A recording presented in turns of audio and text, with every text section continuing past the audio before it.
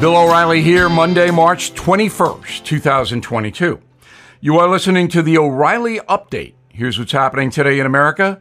Putin continues the brutality in Ukraine. President Biden heading to Europe. Spring breakers causing chaos in South Florida. A new report ranks the happiest countries on earth. Also ahead, will Hunter Biden finally damage his father? But first, the United Nations reporting at least 900 civilian casualties in Ukraine since Putin's invasion began on February 24th. According to the UN, 15,000 soldiers have been killed on both sides. More than 3 million refugees have fled the country. Ukrainian President Zelensky says he's willing to make a deal with Putin to stop the bloodshed, but he will not surrender the country